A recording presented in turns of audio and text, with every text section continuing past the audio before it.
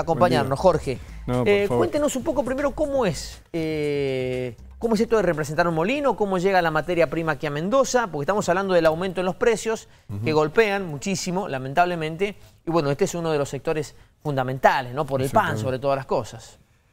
Bueno, la comercialización en este caso, en el caso mío, eh, se realiza de manera directa. Sea, atendemos eh, todo lo que es el canal comercial de la mm, panadería, fábrica de pastas, eh, fábrica de fideos, de galletitas. Y bueno, eh, yo soy el contacto entre el cliente y el molino. El molino provee, se carga normalmente es un viaje completo, es un camión completo con 30.000 kilos que se va entregando. Eh, así ¿Cuánto de eso les llega por semana? Quiero ir entendiendo un poco su... su- En épocas normales eh, depende de la capacidad de venta de cada uno. Pueden ser, en mi caso eran tres, cuatro camiones por o sea, semana. casi 100.000 kilos todas las semanas. Claro, en mi caso. Hoy por hoy, bueno, estamos sujetos a la posibilidad del trigo que tenga en stock el molino, que consigue para poder hacer su producción, eh, y, y en base a eso es lo que nos dan. Hoy podemos hablar de un camión cada 15 días, cada 10 días, cada Es 12 re- días. Totalmente distinto, ¿no? Me pasamos de Totalmente 100.000 por semana a 30.000 cada 15 días. En el mejor de los casos, pongámosle cuatro camiones por mes. Claro. En el mejor de los casos. Y Cuanto yo- antes era 4 por semana. Claro, tres o cuatro por ¿Ese antes semana. de cuánto tiempo estamos hablando atrás? Estamos hablando de fines del año pasado. Ah, no hace tanto. No, no, no, no hace tanto, no hace tanto. ¿Y qué le dicen a ustedes de el molino que entiendo debe ser además al mismo tiempo productor? Este, Eh, No en el caso nuestro. No en el caso de ustedes. No, el no, molino no. compra El trigo al productor de la zona. Este molino está instalado en Azul, en provincia de en Buenos, Buenos Aires. Una zona muy triguera, de una calidad de trigos muy buena. Le compra a los mm, productores que están ahí en la zona. eh, y lo que ellos dicen es que, bueno, se están moviendo con lo que van consiguiendo, porque ocurren dos problemas. Una es el salto que tuvo la cotización del trigo a nivel internacional. No solamente pasa con los combustibles, con el petróleo, con el gas, sino ha ocurrido con todo lo que son los cereales. Eh, dado el contexto este de la guerra entre Ucra- Ucrania, mm, ya que ellos son, el son productores un 30 y 35% a nivel mundial de, de trigo. Que es Entonces, muchísimo, ¿no? Claro, entonces todo ese hueco de alguna manera hay que cubrirlo. Sobre todo son abaste- eran abastecedores de la comunidad europea.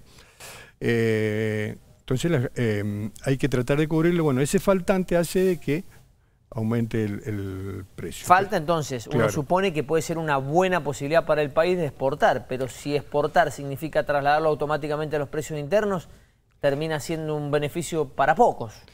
Y es un arma de doble filo. O sea, es bueno y es malo.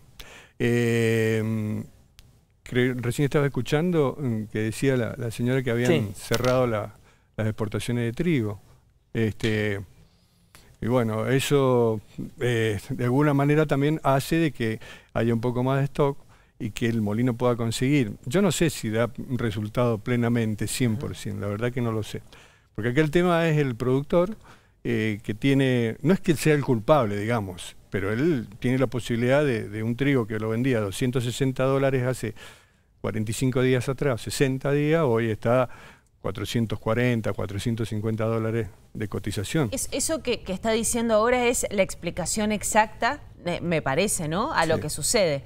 Porque Claro. es lógico, si un productor lo vendía antes a ciento y, a ciento y pico dólares y ahora lo puede eh, vender a tres veces más, es lógico que al productor le convenga Obvio. venderlo afuera que mantenerlo acá, en Claro. donde encima lo venden pesos. Claro. Ahí es cuando tiene que intervenir el Estado y es que obviamente esto genera Regular. rispideces y genera también una situación hiper incómoda para el Estado porque después se tenés ese sector que dice me pones restricciones a mí. Lo que pasa es que claro, si no va a aumentar estrepitosamente el aumento en la góndola. Lo que pasa también ocurre que el, el producto se exporta, a- tengan en cuenta ustedes, a dólar oficial, menos retenciones.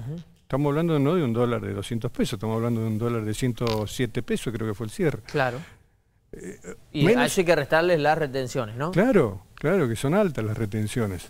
Entonces también este, eh, es, un problema para todos, digamos, porque esto lamentablemente eh, nos concierne a todo y abarca a todo.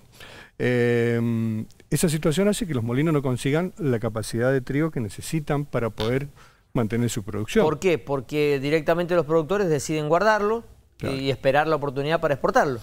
A mí me pasa, a ver, para ser un poquito más claro en esto, si yo tengo solamente de provisión un camión para poder repartir y un cliente me pide un solo camión, yo voy a procurar entregárselo a 10 y no uno solo todo el total. Entonces al molino le pasa lo mismo. El molino en vez de poder conseguir eh, miles y miles de toneladas, le darán un poco como para que tenga.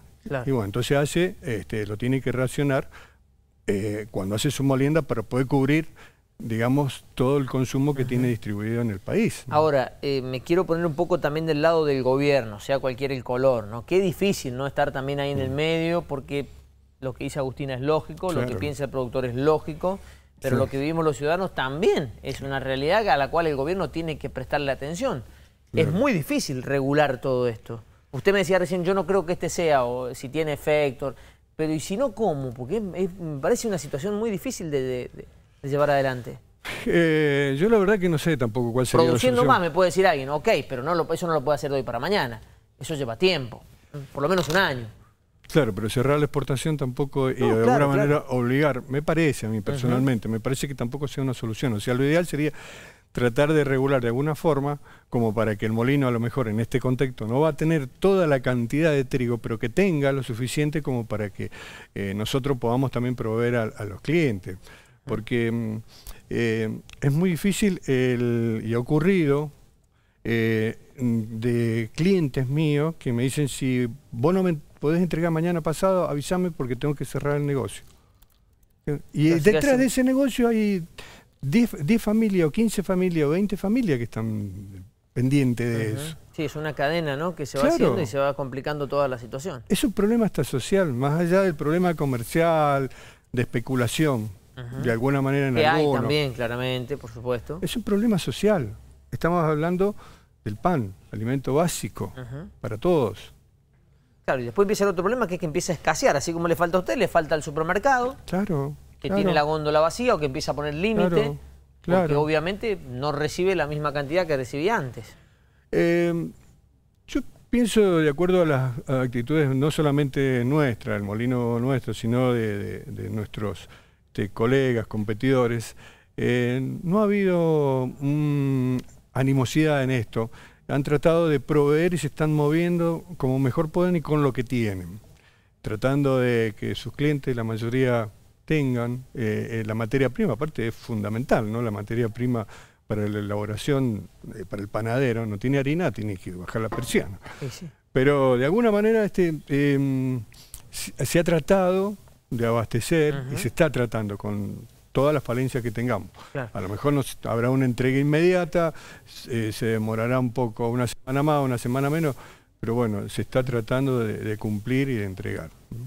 Lo peor de esto y lo último de mi parte es que no tiene eh, fecha de finalización. O sea, uno no puede decir a partir del mes que viene quédense tranquilos porque esto es temporal, el mes que viene ya se soluciona. La verdad es que depende de cuestiones internacionales sobre las que la Argentina no puede hacer nada. Y si vemos las noticias hoy, creo que me da la sensación que esto tiende a agravarse por el bombardeo ese de Rusia a esa base militar a 30 kilómetros de Polonia. Entonces, en vez de solucionarse, tiende a agravarse es así, no tiene una fecha definitiva de, de Lamentablemente.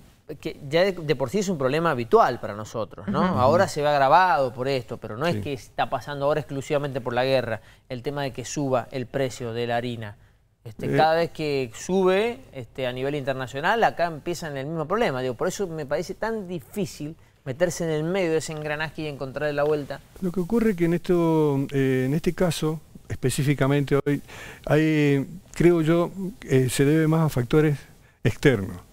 Nosotros hemos tenido, por ser un commodity, eh, tienen mucha variación de precios porque siempre están atados a diversos factores, ¿no? Climáticos, sociales, de guerra.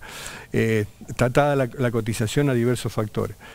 Pero en general ha sido más que nada por problemas nuestros, económicos nuestros, cuando ha habido devaluación, cuando ha habido aumento del dólar. Entonces eh, ha ocurrido en otros momentos, pero se ha debido más a factores propios. Hoy no, hoy yo creo que más se debe a un factor externo. También hay factores propios, pero más se debe a un factor externo. La última consulta que le hago, ¿cuánto tarda en verse reflejado en el camión que le llega a usted todas las semanas el aumento del combustible? Eh, Aumentó hoy el precio de la nafta. ¿Cuándo le cambian a usted el precio? el tema de los fletes eh, tiene una incidencia muy, muy importante en el producto final de la harina. ¿Por qué? Porque en el caso nuestro, nosotros venimos de Buenos Aires, 1.350 kilómetros. Eh, y mm, está representando un 15% casi el valor de una bolsa de harina el importe de un flete. Han aumentado muchísimo, muchísimo los fletes. Eh, seguramente recién vi un mensaje de que eh, están muy desfasados los precios para los transportistas, es cierto, sin duda. Pero para nosotros también, porque impacta mucho el precio de la harina. Ahora, eso eh, es casi inmediato. Porque cuando vayamos a cargar otro camión... Cuando llame ahora y diga, mandame otro, automáticamente le dice, mira, subió por el precio de la nafta. El flete vale tanto, ahora, no, pero me cargaste, no, pero bueno, ahora con el aumento de combustible y aumento. Y eso se va al precio de la harina. No le queda otra más que trasladarlo. Y si no pérdida. Claro, claro, claro, claro, sí, directamente. Miren, para que ustedes se hagan una idea, eh, hoy por hoy, si ustedes no, no tienen un un camión completo de harina hoy con, todo un pedido está alrededor, vale más de 2 millones de pesos. Traer un camión de harina es una locura. Hablamos de valores exageradísimos. Son valores... Claro, que uno los piensa y dice, ¿cómo puede ser? ¿Se imaginan lo que era cuatro camiones por semana a esos valores? Una fortuna, sin lugar a Eh, Jorge, gracias por ayudarnos a entender un poco cómo funciona este, este, este, sistema tan difícil ¿no? de, de romper, tan perverso al mismo tiempo porque nos daña, no lo digo por ustedes, sino en general, así como pasa con esto, debe pasar con el resto de los productos, más allá de que ahora tiene este, mayor incidencia porque Ucrania y Rusia eran productores, son productores muy importantes de trigo en el mundo. Exactamente. Muchas gracias, es muy amable. por favor, gracias a ustedes, hasta luego.